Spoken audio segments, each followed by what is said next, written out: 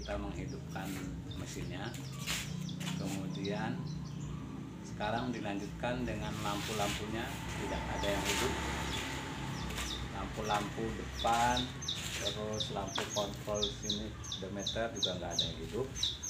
Jadi untuk itu kita langsung cek saja eh, apa yang ada permasalahan pada sehingganya lampu depan tidak ada yang hidup sama sekali.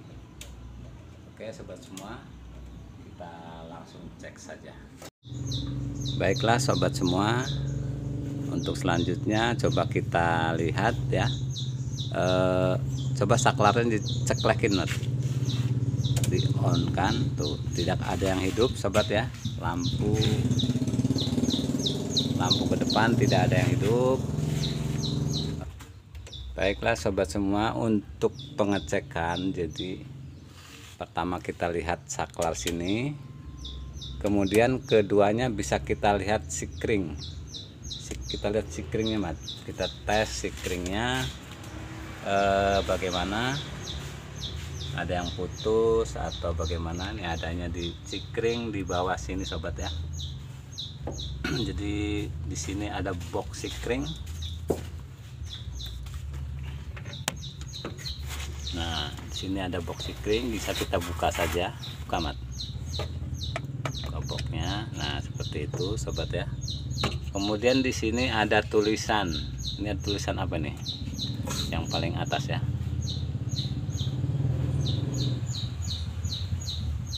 H. Yang ini ya Pak ya. Ini. Eh. yang ini ya. H garis miring L itu berarti headlamp headlamp berarti ini dari sini posisi begini ya mm. Oke sobat semua, jadi posisinya seperti ini bisa kita lihat di sini sikringnya berarti nomor satu sama nomor dua ya. Jadi lampu kanan kiri. Oke di sini. Nah sikringnya seperti ini sobat ya. Berarti adanya sebelah kanan ini nomor satu, kemudian nomor dua. Coba kita cek ada api masuk apa tidak ke situ. cek sobat ya ada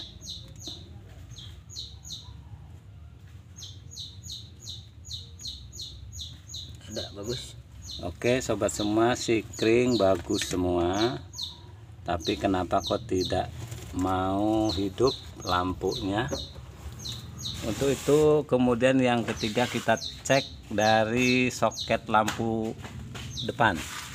Di sini bisa kita buka tutupnya sobat ya. Bisa kita buka. Ya bisa kita buka seperti ini. Apa mana obeng.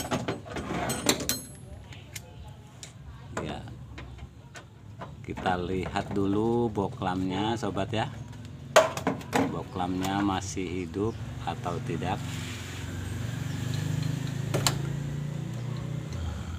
Cabut saja boklamnya ya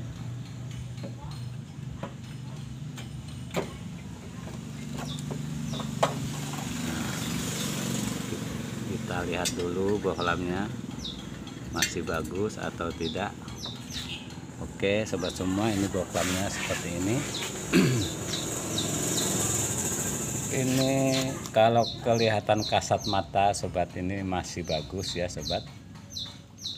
Belum belum kelihatan putus atau belum kelihatan kebakar. Tapi untuk lebih meyakinkan bisa kita tes dengan tester sobat ya. Kita harus punya tester untuk meyakinkan agar bohlam ini masih bagus atau tidak. Coba di tester dulu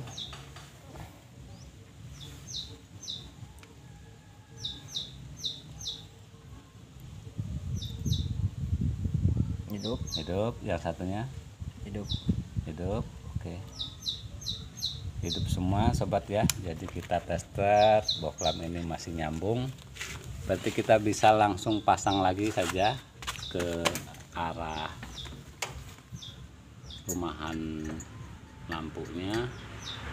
Langsung pasang. Oke coba kita cabut yang sebelah kiri. Ini kan sebelah kanan nih sebelah kiri. Kemudian kita lihat kita lihat dim lampu atasnya juga tidak hidup sobat ya. Dim lampu atasnya juga tidak hidup. Ini sudah kita dim. Oke coba kita buka saja box yang sebelah kiri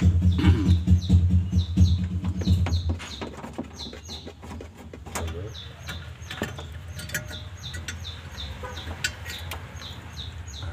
Nah, kelihatan masih bagus ya?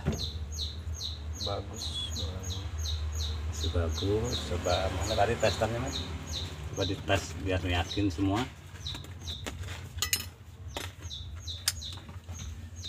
Gimana dek? Hmm. coba biar untuk meyakinkan kita tes saja proklamnya hmm, kita pegangin yuk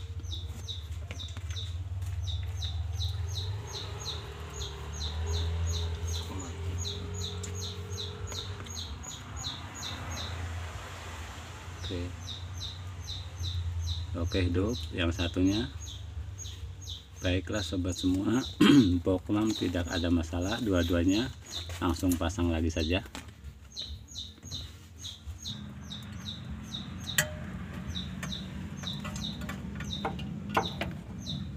Kemudian bisa dites dari soket sebelah kiri, coba ada api atau tidak. Seperti, seperti kita ngetes yang sebelah kanan.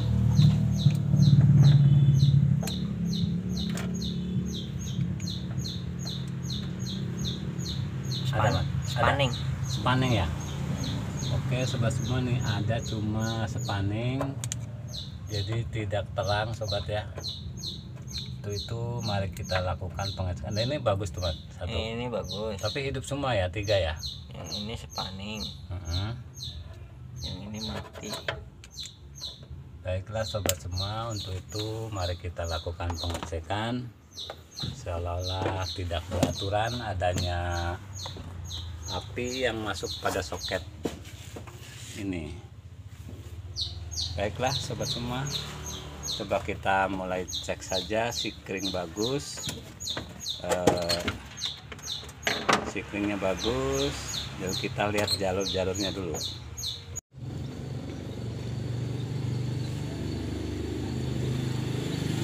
Baiklah sobat semua Untuk selanjutnya berarti kita sekarang li- harus melihat eh, saklarnya. Soalnya kita dari sikring sudah bagus Tetap ada api masuk. Kemudian kita coba lihat dulu bagian saklarnya sobat ya.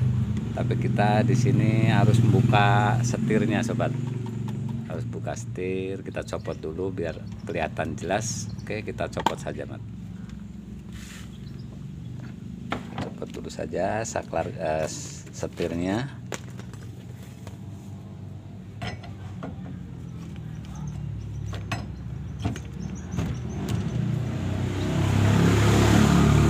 Oke seperti ini sobat ya jadi di situ ada baut 4 bisa kita buka lebih baik kita angkat dulu saja. Biar jelas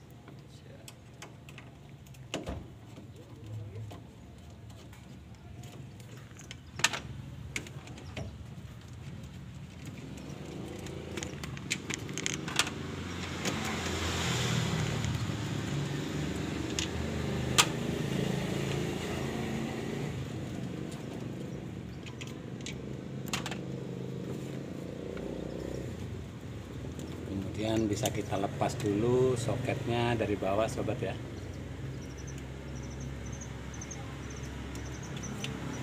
Seperti ini sobat soket-soketnya eh, apa namanya saklar lampunya. Coba kita lihat lidah-lidahnya ini terutama sobat ya. Kadang-kadang di sini sering error Eh, di sini ini pertama lampu seri sobat ya. Kita ceklekan ke sini pegang mat. Kita ceklekan kita on kan satu itu lampu seri. Nah coba diceklekan. Satu. Kemudian lampu depan. Dua.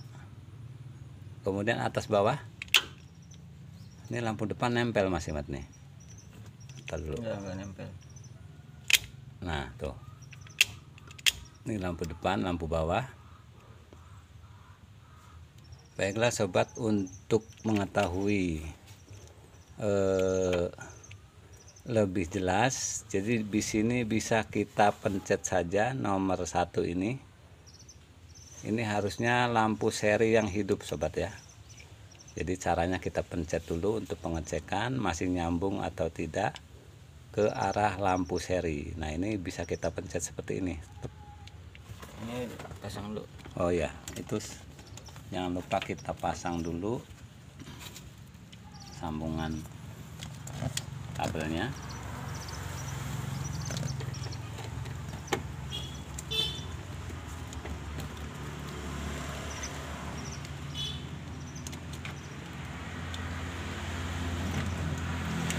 Truk, Oke. Eh, di sini bisa kita pencet. Nomor satu coba ini harusnya seri yang hidup. Pencet. Kita lihat dulu ke depan ya. Oke lampu seri hidup. Coba jangan lepas pencetannya. Oh, pencet lagi. Baiklah sobat semua. Ini kita pencet dari dari saklarnya lampu seri hidup. Kemudian coba kita pencet nomor 2 lampu depan nah itu. Coba kita pencet. Nomor 2 pencet. Hidup nggak? Apanya? Oke sobat semua lupa jadi soketnya belum kita masukkan ya. Yang ke arah boklamnya. Maklum sudah agak pikun sedikit-sedikit. Jadi ya harus dimaklum ini soket eh, lidah yang nomor satu ini. Seri kemudian ini lampu besar sobat ya yang nomor dua ini. Coba kita sekarang pencet yang lampu nomor dua. Coba pencet mat. Nah itu hidup mat. Bagus. Lepas pencet. Pencet lagi. Kok nggak hidup? Panas pakai anu pakai obeng mat pencetnya ah oke hidup. Coba lampu yang atas. Yang paling pinggir. Oke hidup semua sobat ya. Jadi masalah boklam jalur berarti masih hidup semua. Eh, berarti kita sekarang tinggal melihat apa yang ada pada sakar ini sehingganya tidak mau ngonek ke depan Oke untuk itu kita sekarang mending turunkan saja kita buka kita di bawah saja nanti lihat apa yang jadi kendala.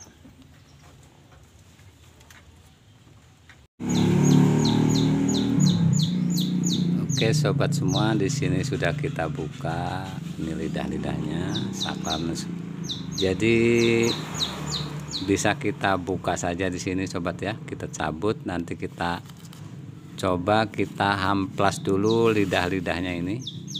Platina-platina yang ada di sini kita amplas dulu nanti reaksinya bagaimana. Kita buka dulu saja mat. Hmm, ininya kita copot dulu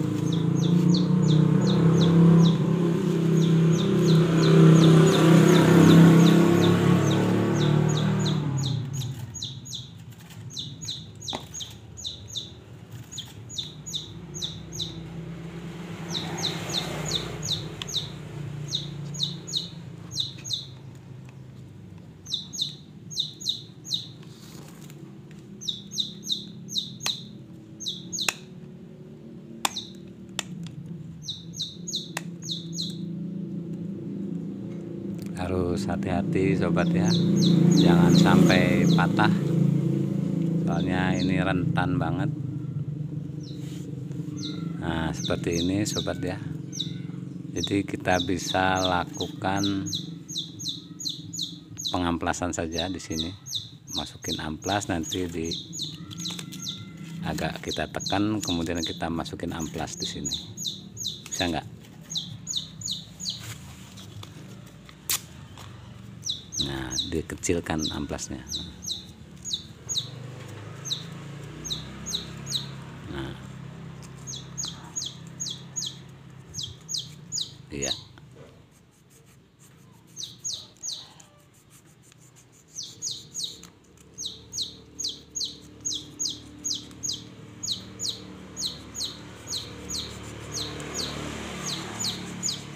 Ya, seperti ini sobat ya bisa jadi keempat lidahnya ini kita lakukan seperti ini. Yang penting sudah kelihatan e, bersih pada platinanya. Nanti kita langsung tes lagi.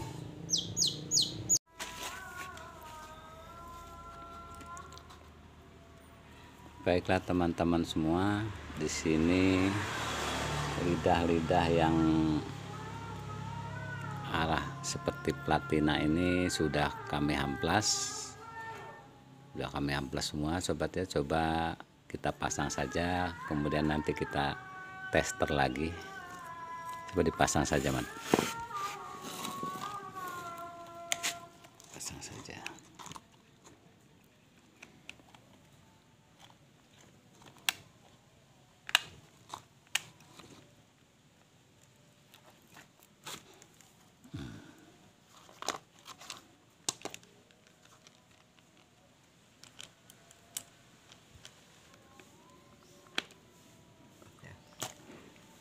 udah nih. Baiklah sobat semua coba kita tester saja dulu.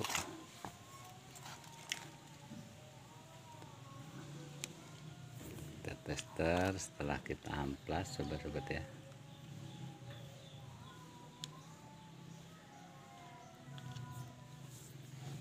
Eh, bagian api masuk apinya sini masuk ya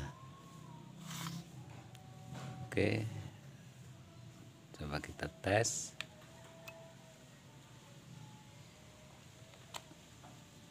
Untuk seri. Untuk seri bagus sobat ya. Tuh. Oke. Kemudian kemudian langsung ke lampu depan.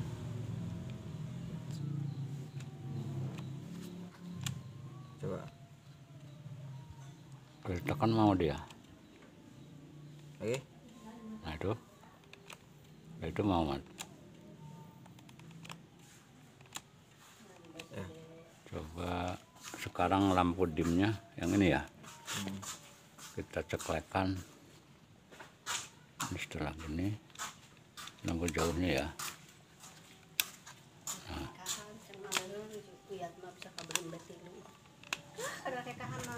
oke sobat semua.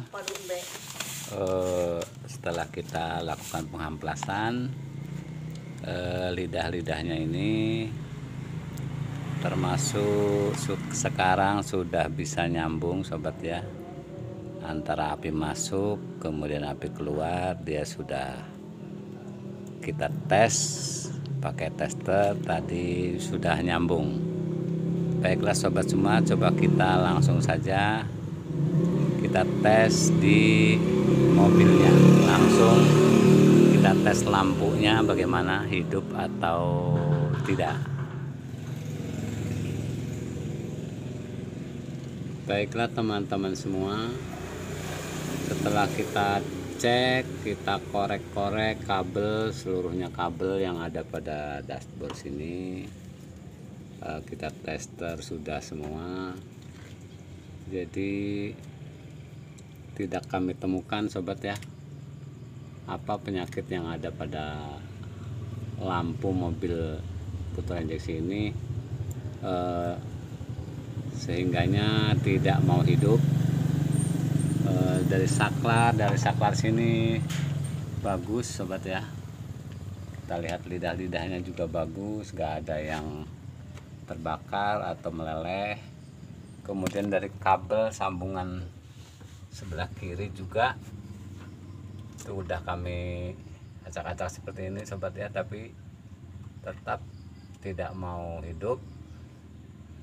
Untuk itu untuk cara singkatnya pakai cara kita jadi pakai jalan pintas saja. Yang penting kita tidak mengganggu pada jalur eh, ke arah mesin sobat ya ke arah itunya yang penting aman. Jadi kita bisa bisa kita jumper saja dari saklar langsung ke arah ke arah boklam ya sobat ya. Karena di sini kita sambungkan ke arah boklam langsung seperti standarnya ya eh, bawaan pabrik ternyata hidupnya sepaning lampunya sobat ya. Ternyata hidupnya lampunya sepaning akhirnya kita ambil keputusan kita putuskan saja arah kabel yang ke bawah dashboard sini sambungan-sambungan yang sini. Kalau kita harus buka kabel semua sangat repot dan tentu makan waktu. Soalnya kabelnya ada di bawah dashboard sini. Nah, untuk itu untuk mengatasinya kita potong saja yang arah ke dashboard. Eh, kemudian kita cari langsung saja dari arah saklar sobat ya. Oke mat kita langsung kerjakan saja. Bagaimana nanti hasilnya kita coba langsungkan saja karena kita melalui soket ini kabel yang lama ini seolah-olah kayak ada kekonsletan di bawah dashboard jadi sehingganya hidup lampunya juga tidak terang. Sepaning lah sobat ya. Setelah kami korek-korek dari luar ternyata tidak ketemu. Akhirnya kita ambil keputusan karena berhubung sudah sore sobat ya eh, kita langsung cangkok saja. Dari sini langsung ke arah boklam. Oke mat kita langsung eh, cangkok saja. Yang penting lampu hidup kemudian aman. Tetap kita melalui sikring sobat ya. Tetap melalui sikring jadi aman. Tidak akan ada masalah. Yang jelas hanya kita melepaskan kabel yang jurusan dari dashboard saja yang di bawah dashboard. Eh, karena untuk dibuka eh, membuka dashboard sangat eh, repot. Jadi bisa dikatakan terlalu lama.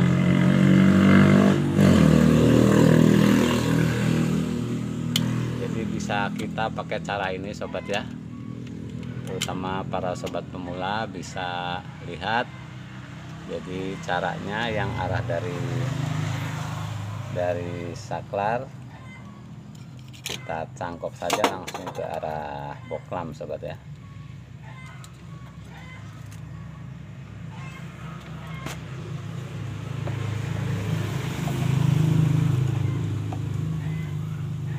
jadi di situ ada kabel warna apa itu mas? Warna coklat ya? Yang satu coklat. Yang satu coklat terus kemudian yang satu? Yang satu hitam eh merah. Merah kuning ya? Merah kuning ya mas? Bukan merah kuning merah apa sih putih. Kayak putih tapi udah burem ini. Oh putih itu putih tapi udah kuning Oke, jadi kita kupas seperti ini sobat. Ini arah jalur yang dari saklar ya, Mat ya. Hmm, Dari saklar lampu kita kupas warna putih merah dengan warna coklat. Ini yang mengonek ke arah lampu depan sobat ya.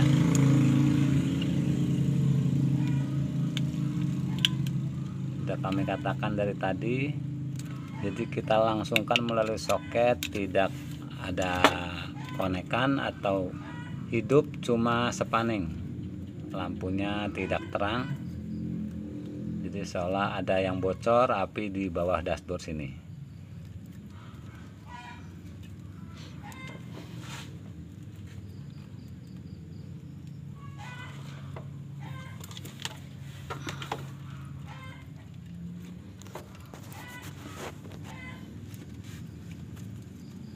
dan coba dites dulu.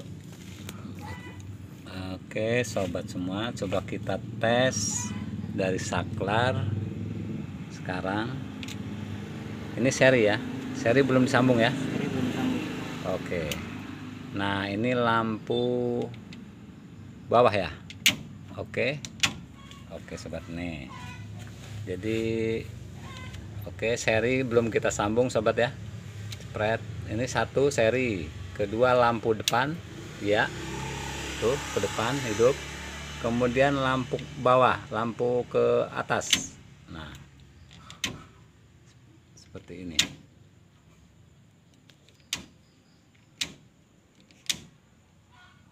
Oke sobat semua ini berarti langsung kita ambilkan kabel warna kuning putih dengan warna coklat yang langsung kita ke boklam akhirnya hidupnya bagus nah yang dari bawah lam ini kan Nah. ada tiga kabel nih.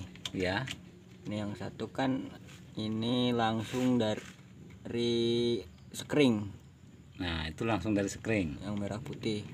Ya oke sobat semua jadi jadi yang diputus hanya dua. Jadi yang kita putus hanya dua saja sobat ya. Yang lampu naik atas ke bawahnya Eh, lampu ke atas lampu ke bawah. Kemudian lampu standby dari sikring eh, setrum standby dari sikring tetap masuk ya mat ya? Tetap masuk. Ya yang kita putus yang arah lampu jarak dekat dan jarak jauhnya saja. Oke sobat semua coba kita copkan saja eh, biar kita tahu eh, serinya hidup atau tidak. Oke kita ceklek pertama seri hidup ya Oke, seri hidup. Ini lampu pertama sobat seri ya. Kemudian lampu bawah. Nah. Lampu atas.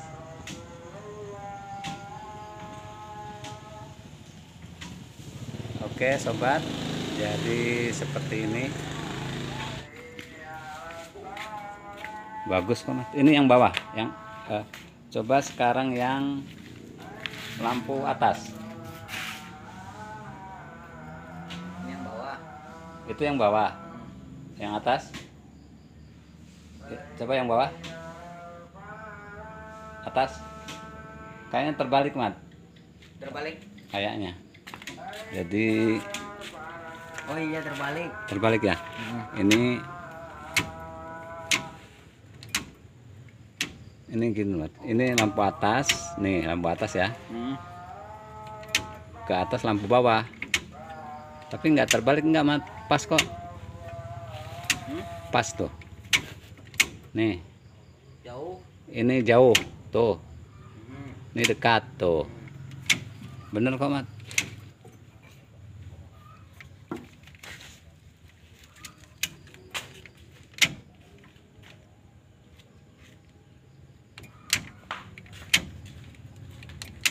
Pas, Mat, bener.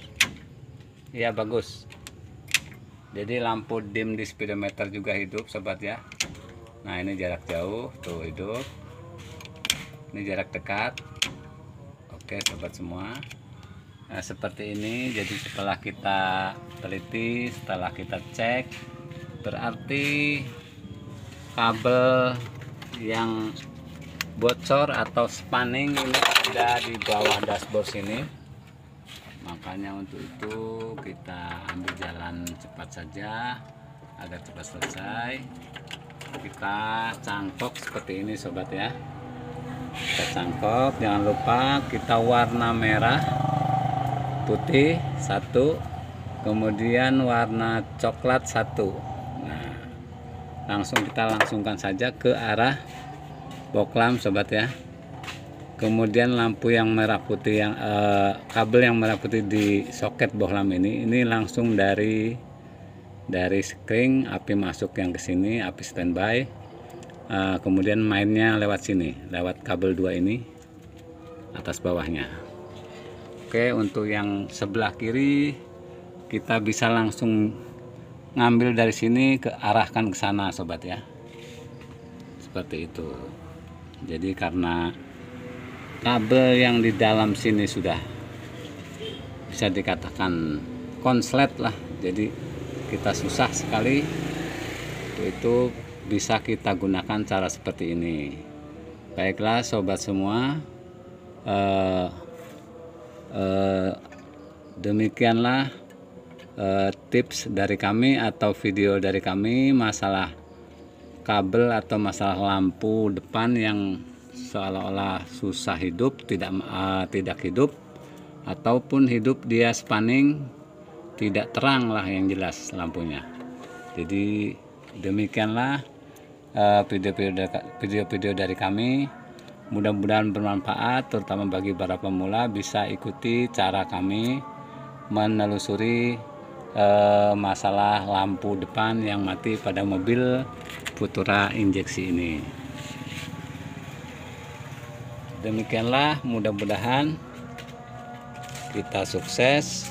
Wassalamualaikum warahmatullahi wabarakatuh